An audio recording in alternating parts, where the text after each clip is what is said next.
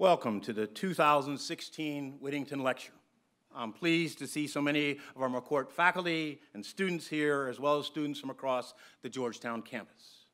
I'm especially pleased to be able to introduce our lecturer this year, Secretary Tom Perez. He's Secretary of the Department of Labor. Secretary Ch Perez is a champion of the kinds of public policies and issues that were designed to make our economy work for everyone in America. Leslie Whittington shared this commitment to improving opportunity for everyone. As a professor of economics and public finance, her passion lay squarely in family economic policy, issues like the impact of the marriage tax and the status of women in the workforce. As many of you know, Leslie was an esteemed and accomplished member of our faculty. She was the associate dean and admired by legions of her students, many of whom have kept, touch, kept in touch with her through the years, even after they graduated. While we are fortunate to have many of outstanding faculty, her high-spirited and engaging lectures really ensured that her classes were some of the most hard to get into and greatest demand. Tragically, Leslie and her husband Charlie and two daughters were taken from us 15 years ago on 9-11. But I have no doubt that if she were here, she'd be sitting in the front row, ready to ask Secretary Perez the very first question.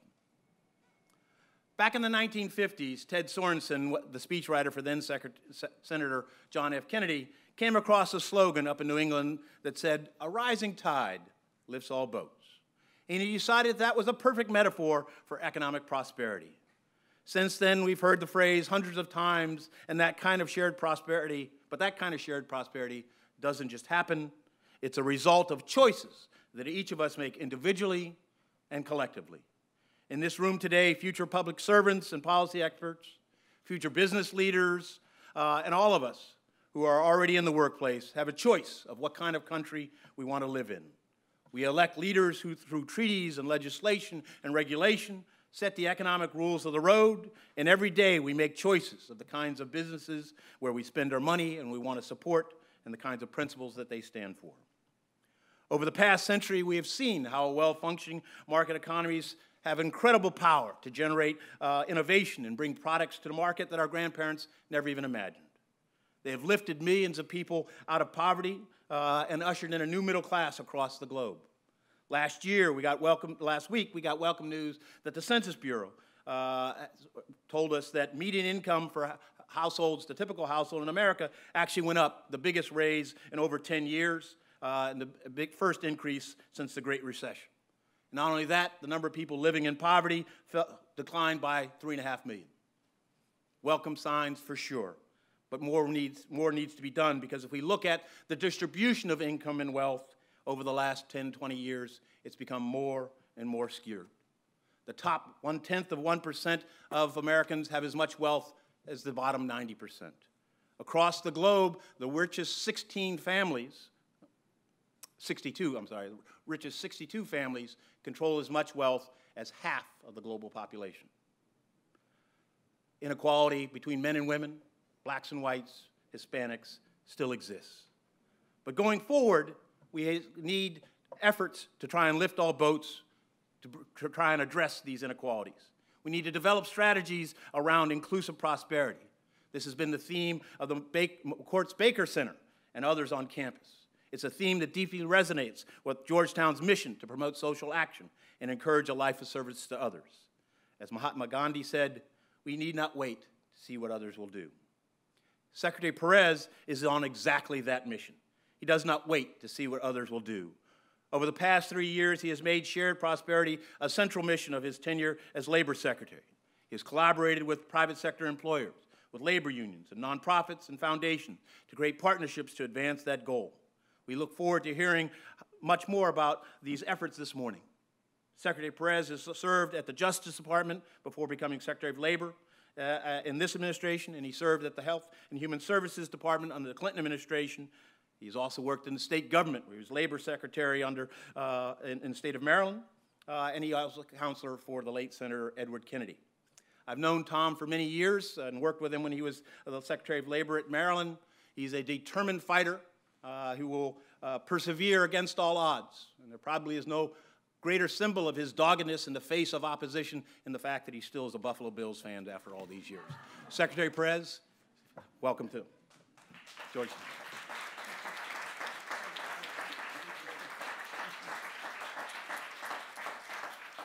Good morning. Thank you uh, uh, for those kind remarks. And uh, as a Buffalo Bills fan, we always say that false hope is better than no hope at all. and I'm living by that. And uh, in Buffalo, uh, Ed, I, I, had the privilege of going to a Jesuit high school. So it's great to be back here in a wonderful Jesuit institution. I went to the same high school as uh, the late, great Tim Russert. Meet the Press was in blue and gold, the colors of Canisius High School. So our, and my wife's uncle is a Jesuit, so uh, the Jesuit ethos is a big part of who I am. And, and you all know Ed, but uh, Ed's got game. And, and what I think I like the most about Ed is not his keen intellect and sound judgment, but um, there's this um, adage in life, you know, it's nice to be important, but it's important to be nice. And that's what I like about Ed. In a town where there are a lot of sharp, el- sharp elbows, uh, Ed is not one of them. And so, Ed, thank you for uh, the work that you've done. And it's, it's very meaningful to be here uh, delivering the Whittington lecture because she has some Maryland roots. Uh, as I was uh, learning, as I learned about her, and um, I was certainly inspired by her work and, and profoundly saddened by her loss. And I did a little um, uh, dive to see uh, if any of our colleagues at DOL had worked with her, and I and one of my favorite people, Amanda Allstrand, who works in our um, Employment and Training Administration, uh, did uh, actually study under her, and um, she remembered uh, her as the embodiment of the idea of a professor and coach. She was not just there to teach us the academics, but to make them real, and uh, that resonated with me because behind every data point and we'll have a few data points this morning, um, is people. It's people who are struggling to make ends meet, people who want to realize the American dream of prosperity. And that's why, as Labor Secretary, I really believe it's important uh, to make uh, house calls, to take the conversation on the road. And, and, I, and in that capacity, meaning no disrespect to Lou Gehrig, I do feel like the luckiest person on the face of the earth because I've gotten to meet people who are doing extraordinary things, have overcome extraordinary odds. And, and when I read about folks who are chronically pessimistic, I don't understand it. When I hear leaders talk, um, you know, they talk bad things about America because uh, the America that I see are people who do extraordinary work day in and day out to shape a brighter future for our nation. I was at the National Harbor this morning with a group of about 500 grassroots advocates, 99.9% uh, of whom are women of color uh, out there uh, across America advocating for justice and fairness in a variety of areas, whether it's for home health workers, domestic workers, um, women who are victims of domestic violence. Uh, so many different contexts. And uh, one of the leaders of, the, of, of, this movement that I spoke at this morning, a woman named Ai-jen Poo, who is a MacArthur Genius Award winner. Uh, and uh, she is not only a MacArthur Award winner, but she puts her uh, keen intellect to work every single day to build an America that works for everyone. Yesterday, I was in Connecticut visiting a, a, jail because, um, as a former prosecutor, I'm proud of the work I did as a prosecutor, and I really think you got to be smart on crime. And uh, smart on crime, if you're simply have only one tool in your toolbox and it's a hammer, pretty soon everything starts looking like a nail. And uh, we've made some remarkable investments. And uh, the program I visited in um, New Haven is called Linking to Employment Activities Pre-Release, or LEAP. And uh, we've done a lot of LEAP grants. These are grants that are designed to help people get skills while they are still in jail so that they can come out of jail and be ready to work. Because rather than just locking them up and throwing away the key, why don't we unlock their potential while they are in prison? We did this when I was in local government, and uh, we've been doing it for 10 years in Montgomery County, and it's worked. And it's helped make communities safer. It's helped make institutions safer. And it has helped people to get the jobs and the skills that they need. And it's helped employers who want to um, grow their business. And the, the most, the, the, the uh, largest private employer in Maryland is Johns Hopkins, and the most prolific uh, employer of former offenders is also Johns Hopkins Medical Center. And they do that not as an act of charity, but as an act of enlightened self interest. And I met a guy yesterday, and um, I was walking out, and I got handed this note. And this is why I like my job. I never met this guy before in my life, but I talked to him when he was in jail yesterday. And his, I, I won't tell you his name for privacy sakes, but um, I wish to tell you about what the Job Alliance means to me. This is the best by far program I've ever been involved in. They're giving me a chance at a new beginning, teaching me that it is never too late to learn. They're helping me with job placement, housing, and most importantly, my self esteem to know that I can still be a productive member of society. I thought I was done. I didn't think I would be able to turn myself around, and I didn't think anybody cared. I'm excited about the future.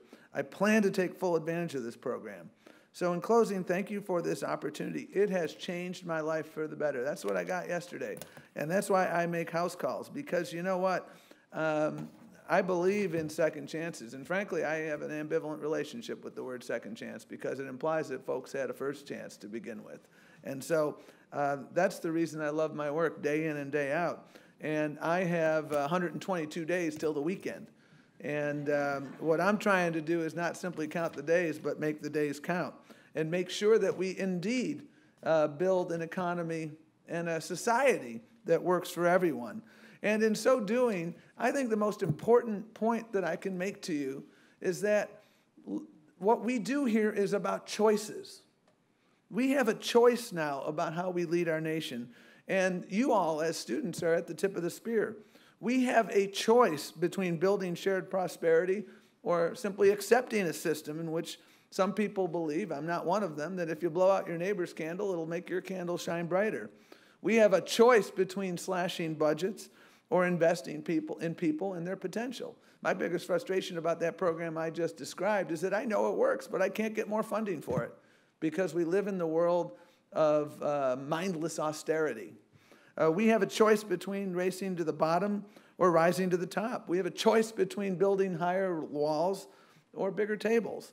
And indeed, I think the leaders in this room have a tremendous role to play in growing our economy and generating that shared prosperity because I really believe, and I spend a lot of time now in graduate schools, business schools, public policy schools, and the like. And, and that's because I really think that you uh, are the key to making sure that this rising tide lifts all the boats and not simply the yachts because we have a real chance to get ahead, but we have to summon some first principles.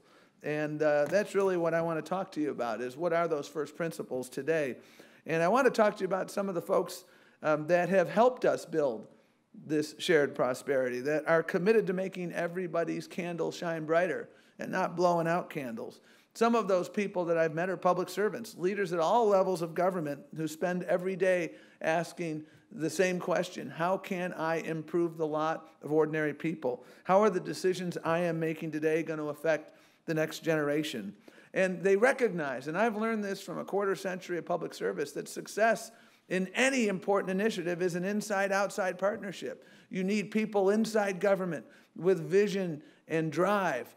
And you need people outside government holding people inside government accountable. You look at the Voting Rights Act, you look at the ADA, you look at the Fair Labor Standards Act, those pieces of legislation, which are really crown jewels in our infrastructure of democracy and economic opportunity, they were all passed as a result of inside outside partnerships. Couldn't have done it without LBJ, but couldn't have done it without MLK. And those are examples. So many of the, the change agents I meet are business leaders who adhere to a model that uh, they call and I call conscious capitalism. Some refer to it as inclusive capitalism. They know that their shareholders are best served when all stakeholders are well served. And they mean all stakeholders. They mean their workers, their customers, their supply chains, the environment. Some are advocates who work every day uh, at a grassroots level, like Ai-jen that I just mentioned, uh, making sure that people have a voice. Because I used to go to the Humphrey building every day when I was at HHS in the Clinton administration, and next to his bust was a simple statement of uh, really the role of folks in government. The moral test of um, our nation is how we treat those in the dawn of life, our children, how we treat those in the twilight of life, the elderly, and how we treat those in the shadows of life. And so many public servants, business leaders, and advocates understand that that is indeed um, the moral test of our nation and, and the unfinished business of our nation. And as we talk about building shared prosperity, I do think it's important to level set because there are a few people in America right now who have a case of selective amnesia. And I do think it's important to talk about where we were, where we've come, and then how we indeed build an economy of shared prosperity. And, you know, in the three months before the president took office, as you know, the economy was hemorrhaging jobs. 2.3 million jobs lost in the three months before the president took office. Uh, as Dean Montgomery can tell you better than perhaps anyone, the auto industry was flat on its back. It was on life support. Um, frankly, uh, many in Congress said pull the plug. The unemployment rate was heading toward 10%. We had seven job seekers for every job opening. Now you look at where we are now 71 months in a row of job growth. Our unemployment rate is now 4.9%. Uh, we have 1.3 job seekers uh, for every job opening instead of seven job seekers. And again, I went to law school, public policy school, because I was lousy at math. But you know, you don't need to be a math whiz to figure out that you'd rather compete against one person for a job uh, than seven people for a job.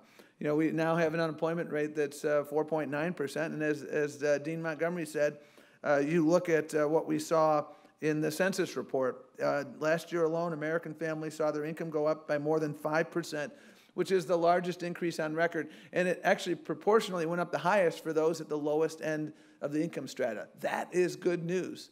Uh, some people said, oh, what about rural America? Well, Census Bureau came out a couple days later to correct its data to say, yes, we've seen similar growth in rural America as well. We have 5.9 million job openings right now. That is a bellwether of a healthy economy.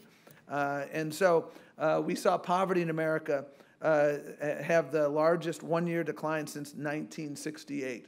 So it is undeniable that we're better off now than we were eight years ago. We've made tremendous progress. We're out of the ditch, we're on the road, and we're moving forward.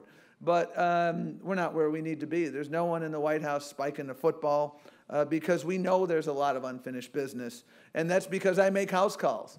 And for every person who has been able to climb out uh, from the depths of the recession. I meet too many people who are still struggling. Although average earnings are improving, the long term trend is still stagnant wages that aren't doing enough to keep up with productivity. And we have huge opportunity gaps. No matter how hard they work, too many people indeed are struggling uh, to get by. And, and the economy, for all too many, is out of balance. Um, I look at the 2014 data uh, and this one always makes me shake my head. The, the Wall Street bonus pool in 2014, that's the combined bonuses of Wall Street executives, just their bonuses, by the way, was 28.5 billion, roughly double uh, the total earnings of all full-time federal uh, minimum wage workers, over a million workers, making less than half of the Wall Street bonus pool. So it's not hard to figure out why folks have angst. And, and it doesn't have to be that way. Remember my number one point. These are choices. You'll hear some people say, well, these are structural problems, technology, globalization. You know, the, uh, the, the cost of doing business in the 21st century is low wages and no benefits. I say nonsense to that. I don't buy it. I think structural problems all too frequently are simply excuse making, a way to justify inertia, gridlock, the status quo, and to avoid bold decisions and strong leadership. And here's what I found in over three years as labor secretary there is absolutely no shortage of smart, forward looking people in our country who make bold decisions and move us forward through the public and the private sectors at the federal level, and then when the federal level is broken, at state and local levels. Leadership in the public sector, I see day in and day out. I meet colleagues who inspire me. People like Dr. Anthony Fauci, the infectious disease chief at NIH. Uh, I remember uh, having dinner with him recently, and he gave me just a remarkably inspiring uh, history lesson on how we tackled Ebola. You remember that crisis in 2014. Dr. Fauci was at the tip of the spear, and he managed billions of dollars and still took two hours out of every day to treat Ebola patients. Leadership at the public sector is everywhere, and you are going to be some of those leaders of tomorrow. And those leaders helped us pass and implement the Affordable Care Act. Uh, you know, I, one of my favorite people in government is uh, Vice President Joe Biden, and he correctly referred to uh, the Affordable Care Act as a BFD. I'll just refer to the B and the D part of that because we're at Georgetown. But a big deal. Um, but when something's a really big deal, we get to that level. And I meet people day in and day out who are benefiting from the Affordable Care Act. And the, the guy that I remember the most is a guy named Ward, who was a long haul truck driver down in Tennessee. Um, on March the 1st of 2015, uh, Ward's coverage finally went into effect. On March the 15th, he had a liver transplant. The Affordable Care Act literally saved his life. And uh, when I met Ward, uh, he was on the mend. He was still unemployed. And I said, Ward, you know, now that you got your life back, what do you want to do? And, and I asked the same question of other people who got their life back by the Affordable Care Act, and I got the same answer from everyone. I want to get a job again. I want to be a taxpayer again. And I can't help but wonder why is it that so many people are hell bent on making it hard for people to get access to health care so they can become a taxpayer again? And you look at the data on the Affordable Care Act, and you see that we could make, we, we've made so much progress already, and we could make so much more progress with one simple intervention. That is the expansion of Medicaid in states where it has not happened. That is the reality. And I see these forward leaning leaders, Republican and Democrat across the country, who've said, we're going to do this. Because, by the way, it's not only the right thing to do on the healthcare front and on the human front, but it's the smart thing to do on the economic front states are leaving billions of dollars on the table. And so I see that leadership in action. I see leadership in the small business context, in the large business context, and in between. You know, from the bookstore I visited in Fairbanks, Alaska, to the Ace Hardware store that's a mile from my house, I meet with CEOs all the time who reject the false argument that high wages kill jobs or stifle business growth. Instead, they're embracing the notion that better paid workers are more productive workers who provide top notch, superior customer service. And that leads to higher retention rates and lower training and turnover rates. And that's good for business. I was with a Fortune 100 senior executive last week who said, you know, the cost of training someone, the cost of replacing someone for us is in the tens of thousands of dollars. So we don't want to lose people. It costs money. Leadership in the private sector are people like Andrea Rush, a woman I met in Detroit. She owns the largest manufacturing company in 20 years to locate to the city of Detroit. And she's created over a thousand jobs, and we helped her do it. We were her HR department. And she hired people who were, uh, had a criminal record. She hired people uh, who were veterans. She hired people who used to live in the community in the city of Detroit who thought they'd never work again in the city of Detroit. She's making things because she had a remarkable vision. Leadership are folks like uh, Costco. You know, I've got a Costco card that's so old in my pocket that I had hair. My, my daughter's 20 years old. We got it when she was born because we used to buy diapers at scale. And uh, you know what? They were a high road employer before being a high road employer was cool.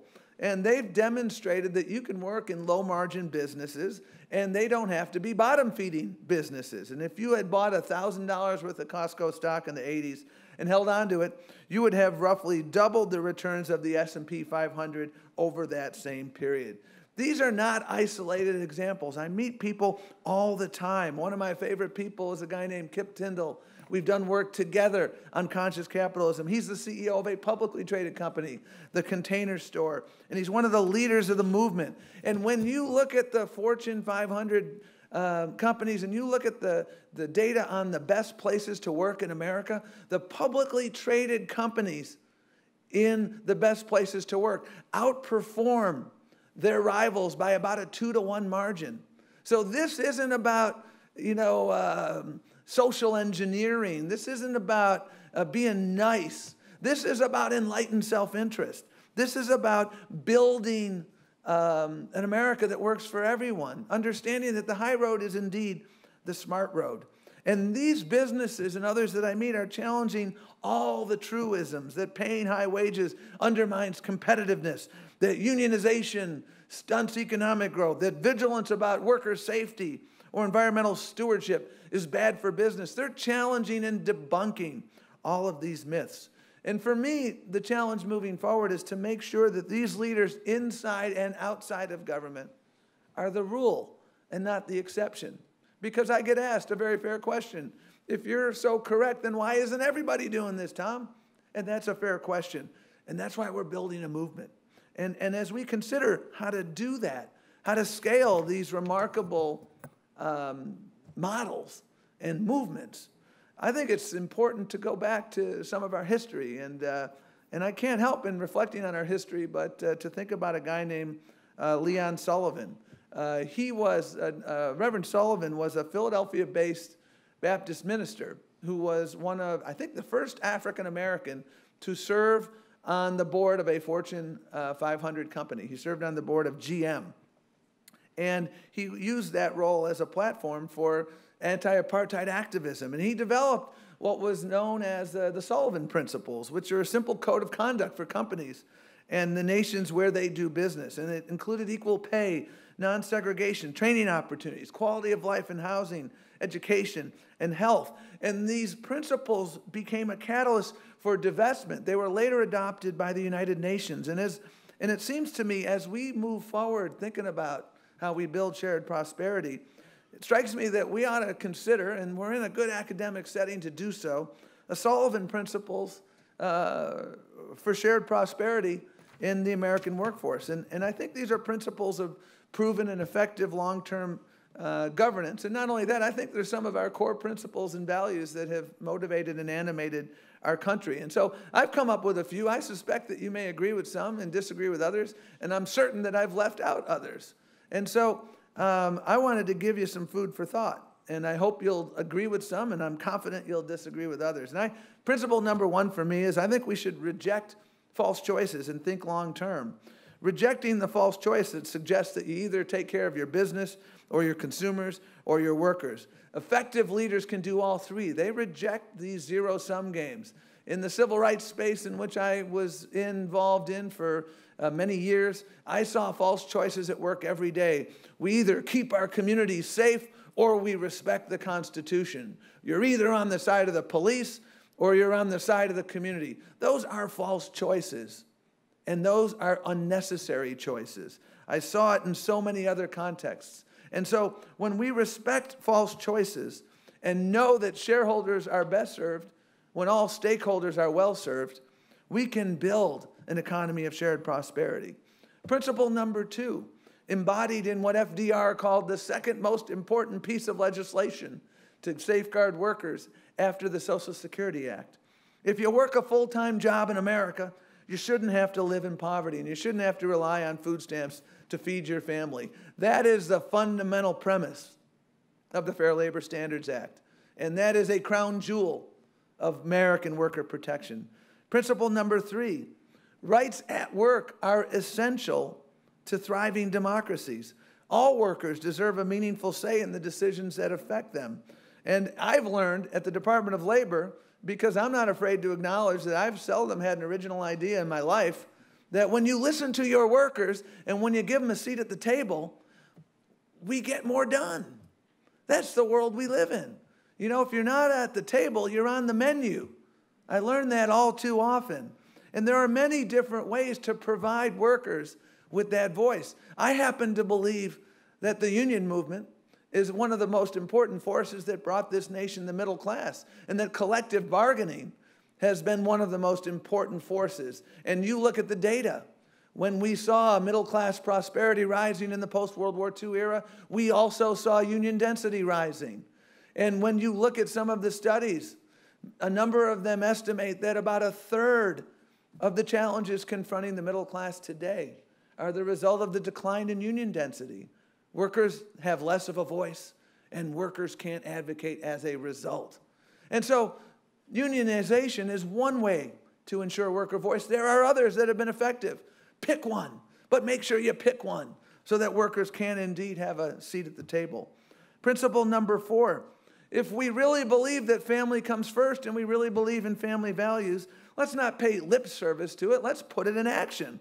We're the only advanced economy in the world where paid leave is a partisan debate, where we don't have some form of federal paid leave when I talk to parents about the kitchen table issues that keep them up most at night, child care and paid leave are at the top of the list. So many families whose rent or mortgage um, is actually less than their child care bill. So many parents who aren't going back to work because the economics don't work. And when I hear people criticize our labor force participation rates, these are the same people all too frequently who oppose efforts at sensible child care and paid leave policies. We gotta, we're in the modern family universe. We gotta move away from Leave It a Beaver and Ozzie and Harriet. Principle number five innovation is America's middle name, it's what we've always been about. At the same time, I believe the key to long term success is inclusive innovation. And so we talk a lot about the on demand economy. We talk a lot about technological advance, and we've got to make sure that we embrace these things, but that we embrace them in a way that brings about inclusive innovation. Because it's great to have that freedom to work when you want or when you don't want, but what happens when you get in a car accident and you have no health insurance, you have no workers' comp, you have no safety net? We've got to build that social compact 2.0 for the 21st century, and we've got to make sure that while we embrace innovation, we ensure that it's inclusive. And it can never be innovation that compromises labor standards or leaves people behind. Principle number six successful businesses and nations and communities embrace diversity. And that has been a linchpin of our success. As someone I spoke to recently, a, a Fortune 500 CEO who was very involved in efforts to preserve affirmative action as they said to me, you know what? I do it because it's smart, not because it's PC. And as I said to them, you know what? I teach my kids, you know, we tolerate Brussels sprouts, we embrace diversity. Uh, tolerance is one of my least favorite words, frankly, in the English language. We should be doing more than tolerate diversity. We should be recognizing that our diversity is one of our greatest sources of our strength as a nation. E pluribus unum means something, and it has brought our nation so much prosperity. We should be embracing our diversity, not using it as a force of division. Because we know that today's immigrant or refugee is tomorrow's business owner, tomorrow's dean, tomorrow's mayor or governor or CEO. And that is why we must embrace our diversity, and it must always be a first principle of shared prosperity. Principle number seven we must always make sure we fortify not only the infrastructure of economic opportunity, but the infrastructure of democracy. We need to make sure we preserve the right to vote. We need to make sure that we work collaboratively on issues of lawful constitutional policing. We need to make sure that while we have robust spirited debates, everybody who's eligible to vote ought to be able to vote. And as someone who spent a lot of time on these voter ID laws, let me be frank about what I observed. These were efforts to make it harder for African Americans and Latinos to vote. If you don't agree with what someone's believing, that's your prerogative, but don't make it harder for eligible people to vote. That is inconsistent with our democratic principles. And here is my final thought, my final principle, which is, I think, something that has embodied our nation forever, which is that we all succeed only when we all succeed. One of my favorite readings, and I've read it about 75 times conservatively, is Dr. King's letter from the Birmingham jail. And every time I read it, there's another sentence or two that captures my imagination. And recently, as I watched the events unfold in Flint, as I've watched um, the policing issues and all the other issues that have kept us up at night, I can't help but reflect on what Dr. King said. We are caught up in an inescapable, inescapable network of mutuality, tied in a single garment of destiny. What affects one directly affects all indirectly. I can never be what I ought to be, and you can never be what you ought to be until I am what I ought to be. That's what Dr. King said. Injustice anywhere is indeed a threat to justice everywhere. And I really believe that we work best when we field a full team. And we work best when we recognize that every single person does have gifts and talents. The person I met yesterday in Connecticut and the CEO I met the day before, they all have gifts and talents. But I think we're at our strongest when we field that full team, when we grow together, when we innovate together. You know, we pride ourselves on this rugged individualism in our country, but I really do believe that the truth of the matter is that we are indeed strongest when we work together, when we sacrifice together. That's what we did during the Great Recession, and that is how we grow together.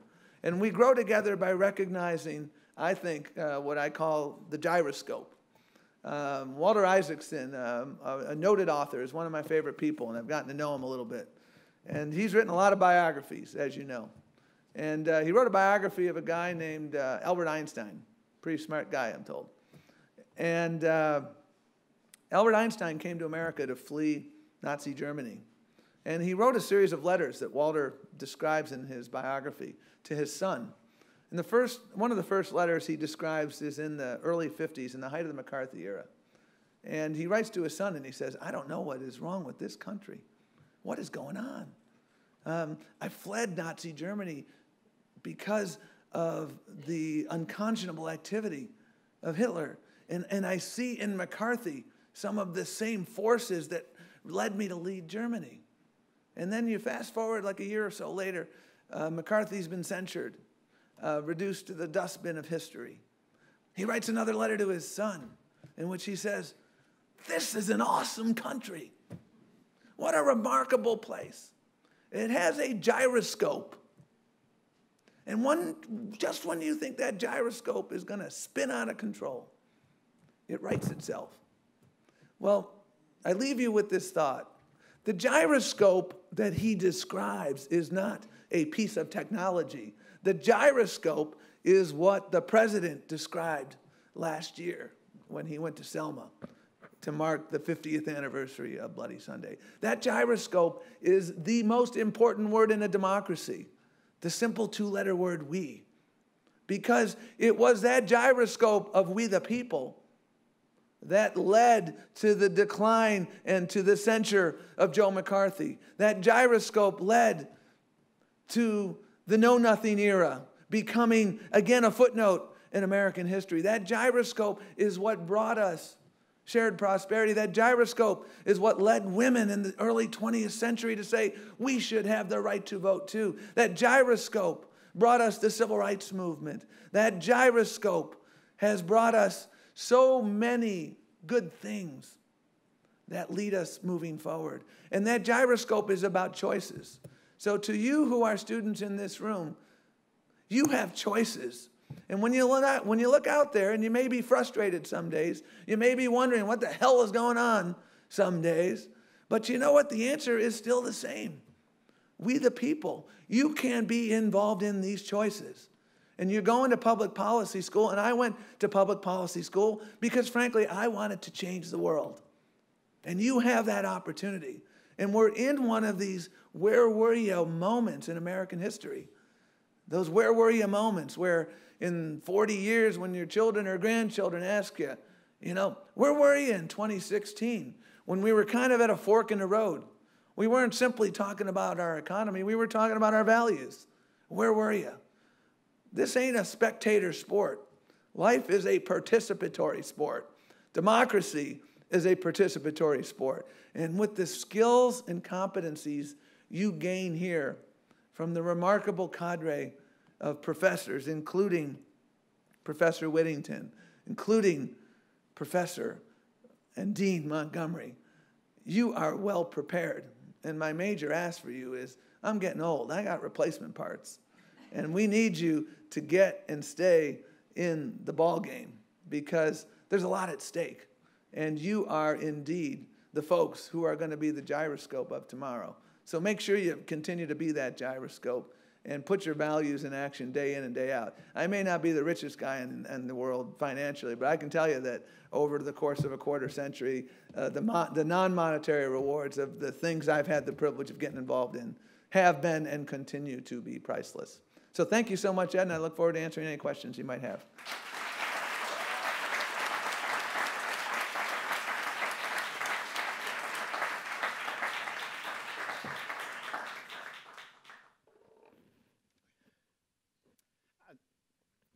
Thank you for the, the speech, Secretary Perez. I Tom's a lot quicker, by the way. So just, we're in a public policy school. Come on.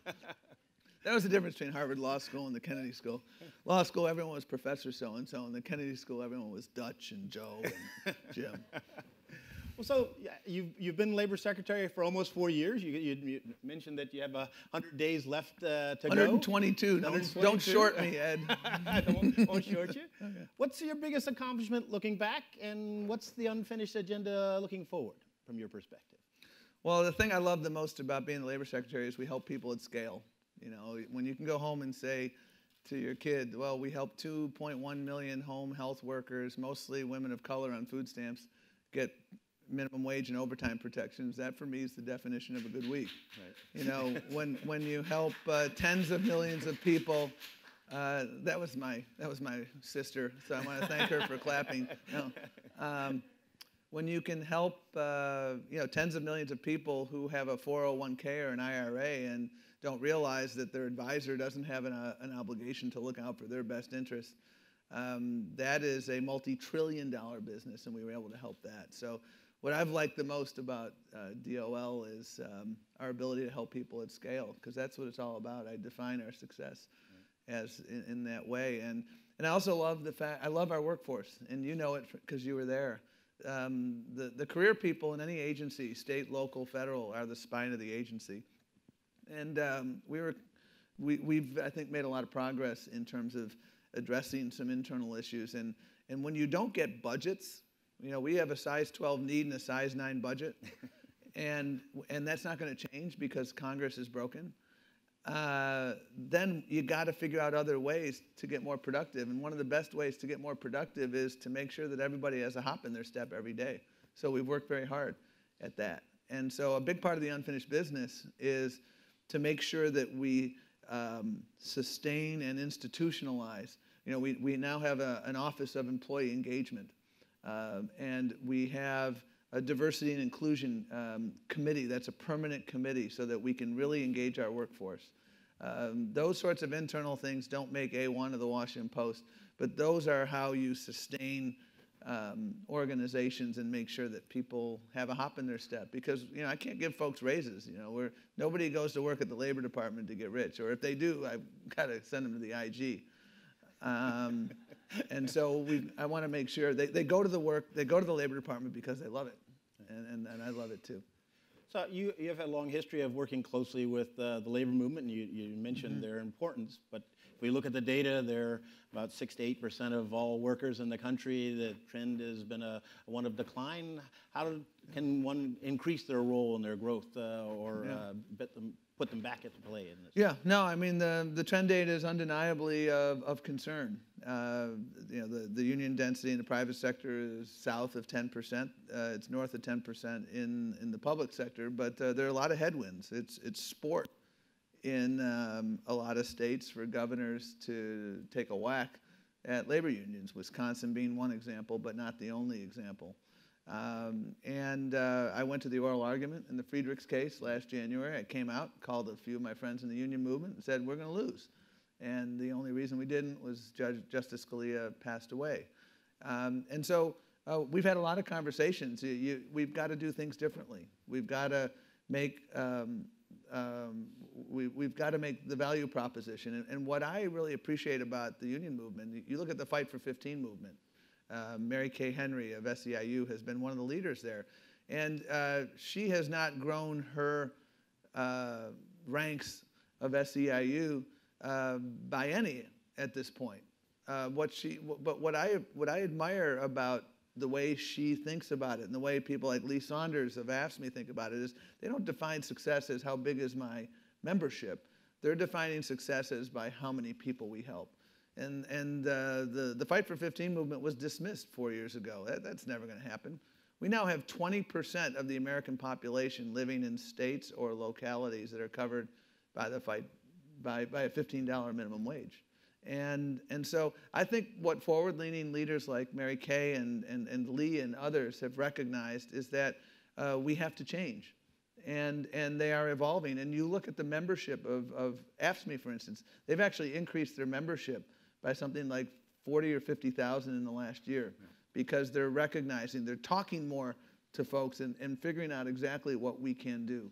And uh, I truly believe we're stronger together. And I truly believe when you look at the data of the labor movement and, uh, you know, the, in the post-war period, as the middle class grew, so did union density.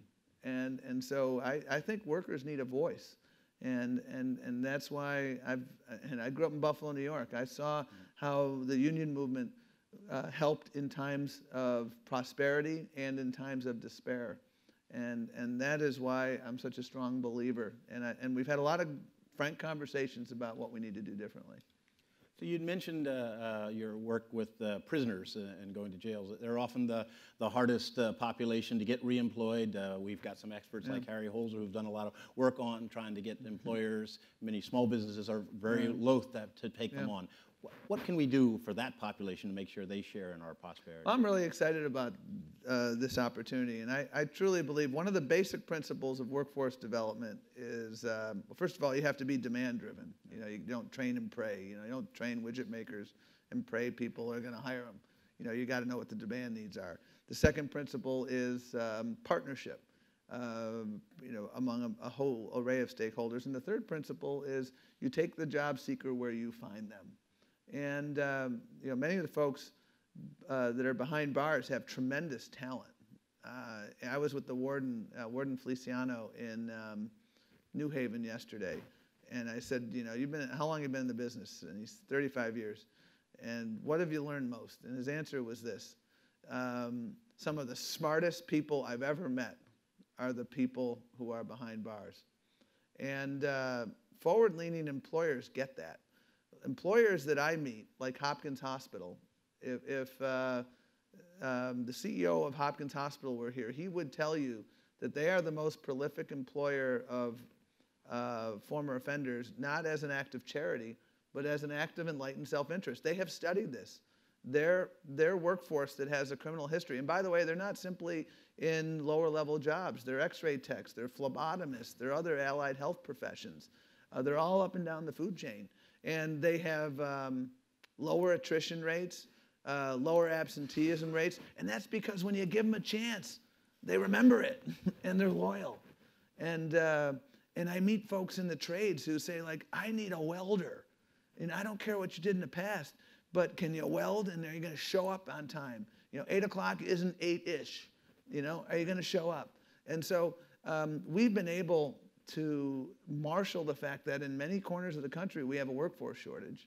We have a lot of employers who are stepping up and then are willing to tell others because the best ambassador for the hiring of former offenders are other employers. You know, I, can, I can do my advocacy, um, but it takes other employers. And we have a lot of tools in the toolbox to help. So you, you, you say, well, you know, that guy's got a theft conviction. Is he gonna, is he gonna steal from me? Well, guess what? We can deal with that. We have surety bonds. We'll insure that risk. You hire that person. If that person steals from you, you're held harmless. And we have uh, what we call, um, uh, you know, we, we have uh, wage subsidies. So we talked about this yesterday in Connecticut. We'll subsidize the wage for like a five or six month period. And then at the end, it's up to the employer to keep them. Our, our history with that program, over 90% of the folks stay on because the employers realize this guy's got game. So um, we're, we're trying to open the eyes of the employer community with the help of many forward-leaning employers to the fact that this is a great talent pool. So you grew up in Buffalo, I grew up in Pittsburgh. These are big manufacturing towns historically. Uh, where it's declined uh, over the last 20 years. And uh, a lot of workers uh, think that trade had a lot to do with it. Uh, and, and so we see in this election lots of conversations, uh, opposition to everything to NAFTA, to TPP, and others. What's your view about the role of trade legislation? And if clearly it has benefits, but how do we make sure it's broadly shared if we continue to sure. do this? Well, I mean, trade is one of the hardest things to talk about. And in this cycle, it's in, you know, incredibly hard to talk about. And, and I grew up in Buffalo. I certainly saw firsthand um, impacts. And, and you know, the reality is that trade, in my opinion, oftentimes was promises made that weren't promises kept. Um, to me, the question that flows from that is not whether we just simply put up our hands, but can we learn from it? You know, can we, we I don't think you can put the globalization genie back in the bottle. Um, and I don't think uh, you can say, uh, let's be a technology-free zone. You know, a lot of the challenges we see in uh, manufacturing, as you know firsthand, is, is not globalization, but technology. I mean, the, the plants I go to, uh, you know, people are walking around with iPads, and you just you require less people. The Republic Steel site, which has been mothballed in Buffalo for 30 years, is now being replaced by the largest solar panel manufacturing facility in the Western Hemisphere. That's an exciting development for Buffalo. Um, they'll probably have about uh, a fifth of the workers that Republic Steel had in their heyday, and they require different skills. And so, to me, and, and for the president, the challenge is can we put American values on globalization? Uh, can we go to school on the lessons of and mistakes of history? And can we build trade agreements that, first and foremost, put American workers and American businesses first by creating a level playing field? And, and the reality right now is the status quo, you know, doing nothing has a real cost. And, and when you go to places like Washington State, Washington State is the most trade dependent state in the country. Um, and when you are in a trade related job, you make on average about 18% more. And so you see progressive Democrats like Patty Murray um, and a number of House members who support um, uh, smart trade agreements because they recognize that trade smartly done um, can indeed help lift um, you know, good middle class jobs. Uh, it's impossible to have a, uh, you know, uh, a debate on this now. But again, I, I, would simply look at history. Trade agreements have always had bipartisan support, and they've had bipartisan opposition.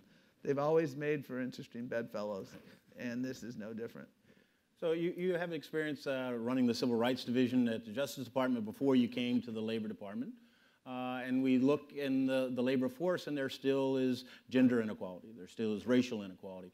How did what you learned in your experience working on civil rights translate into the Labor Department's approach to these issues of inequality uh, on racial and gender lines? Well, we've um, one of the things I'm excited about is I think we've done a lot more together, the Labor Department and the Justice Department. And I can give you one example in the disability context. Um, there's a lot of folks with disabilities who've been working in these sheltered workshops.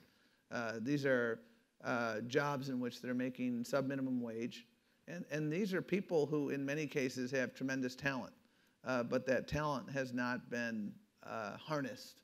And so we did a case in Rhode Island using the combination of civil rights laws and the Fair Labor Standards Act to um, help unleash tremendous potential in the workplace for people with disabilities. Um, so, you know, similarly, we've been using a combination of uh, labor laws, civil rights laws, and the bully pulpit in, in the gender context. Um, uh, I, you know, the, I meet so many CEOs now who understand that uh, they should never be afraid of data.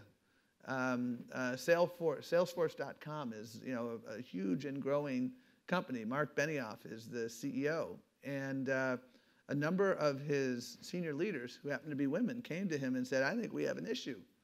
You know, I think, I think women are being paid less who are doing comparable work to men. And his reaction was, let's get the data. And if that's the case, uh, we need to do something about it. And sure enough, it showed it. And, uh, and he was at the White House uh, at an event we did with the president a while back um, uh, surrounding executive action we're taking together with uh, the EEOC to make sure we're collecting this data because what you measure, you value, and what you value, you measure.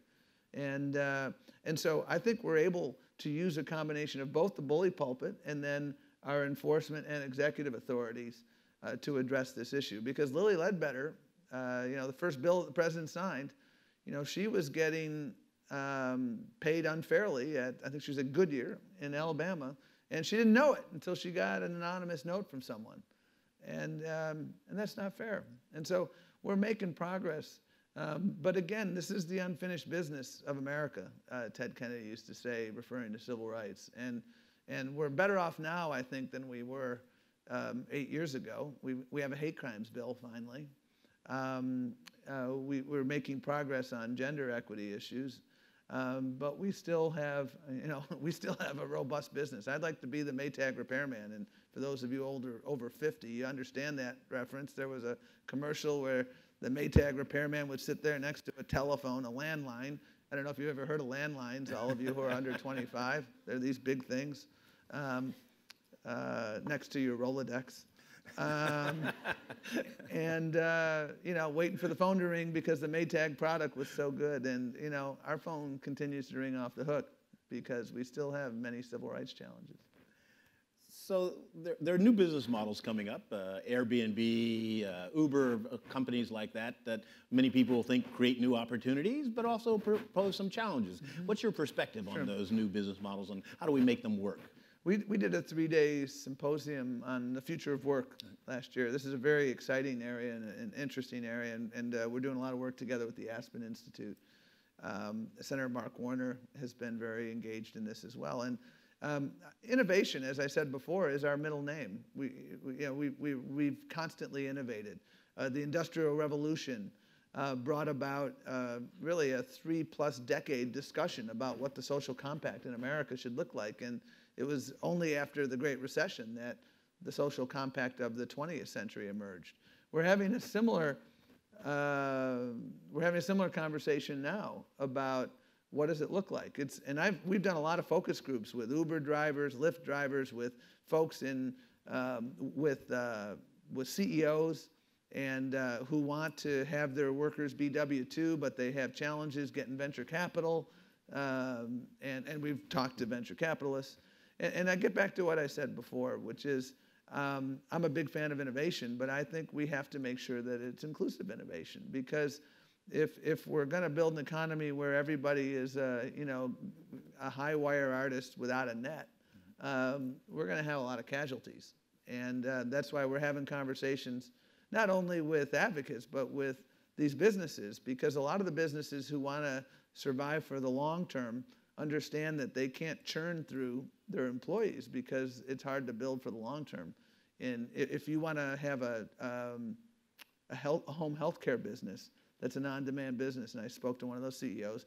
He wants his workers to be W-2 workers because anyone who's ever had a loved one cared for, you can't have a new person every day.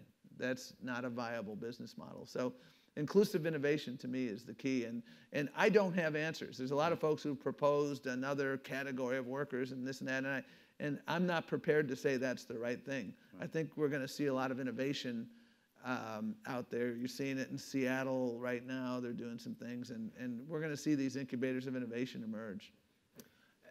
So, dealing with uh, diversity, uh, how, do managers, uh, what kind of strategies do you recommend for managers to, to, to, to transfer diversity from something we tolerate to something that's an active uh, asset for them in terms of building their companies? How, how, are there things that they I should think, do, can yeah, do? Yeah, I mean, I think our next generation is like way ahead of us on this. I, I, my kids go to Blair High School, and there's a couple Blair parents here. And you know, my, my middle kid just graduated. The, the two speakers, one is a, a Muslim young woman who wears a hijab, who was the prom queen and played on a basketball team that my friend coached. And the other was an immigrant from Ethiopia who uh, didn't speak a lick of English six years earlier. My kids embrace it. Um, uh, the reason Fortune 500 companies in abundance filed briefs in the Fisher case and in the Grutter case before that was because they recognize they can't compete in a global marketplace unless they have uh, a workforce that's uh, linguistically and culturally competent. And so we've done a lot of work at DOL to address this issue. We did a, you know, we did a afternoon symposium on subtle bias because um, I want to make sure that our supervisors uh, and all of our workers understand that you know we all bring baggage into the workplace, and uh, if we don't um, understand that and deal with it, we're not going to be uh, the workforce that we want to be. So I I think um, recognizing that. I mean, I've done a lot of work with police departments, and uh, you know, and the whole story, a big part of the story of Ferguson is you have a, a, a community that is overwhelmingly African American being policed by folks that not only don't look like them, but grew up in a segregated environment.